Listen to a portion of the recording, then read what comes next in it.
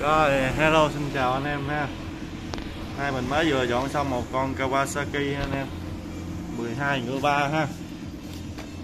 FE 350 FE 350D ha. Đây FE 350D Đây công suất nó là 12.3 PS ở 8 ngựa 5 là tua nó là 3.600 vòng ha lên 13 ngựa 2 lên 12 ngựa 3 là 4 vòng ha.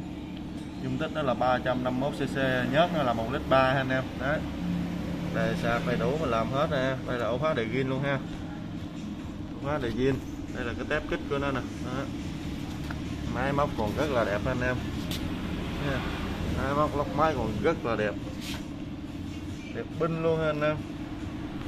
Con này cái lóc còn rất là đẹp luôn ha. Kawasaki sơ nè.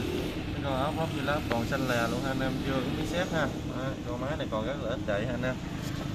Đây, nắp cò đây rồi đẹp long lên ha ha. Đây, bình xăng thì Kenhin ha. Đây, nó xài cái lượt nhớt ha nè. Con này lượt nhớt nó quay càng trước ha. Máy đấy móc còn nguyên viên ha nè. Đây, chủ đề là Denso.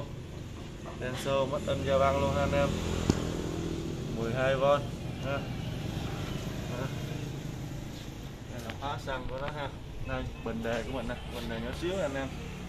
Đây, để cho anh em coi ha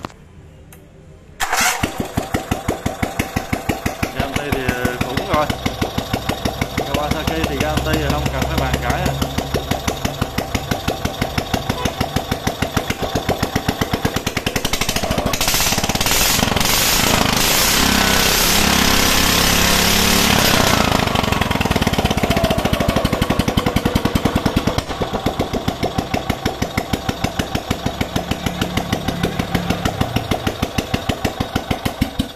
Gamti cực kỳ đá anh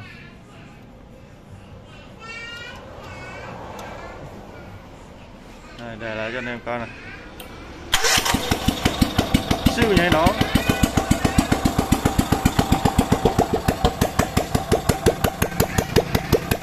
Tì cái tiếng nó chắc cỡ này nè.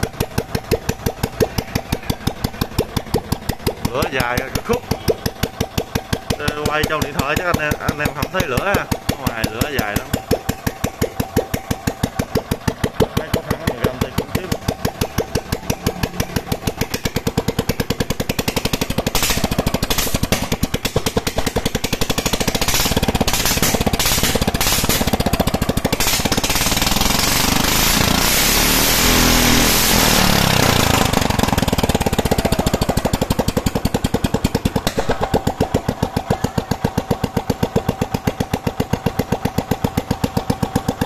Máy chạy rất là chuẩn ha anh em. Máy mạnh ghê, đề nó bật ngửa.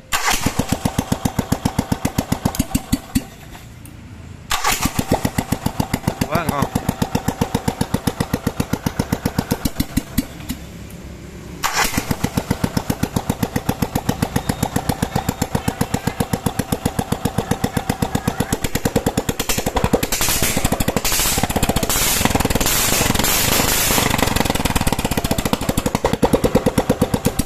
Biết rồi anh em nào có nhu cầu thì alo cho mình ha.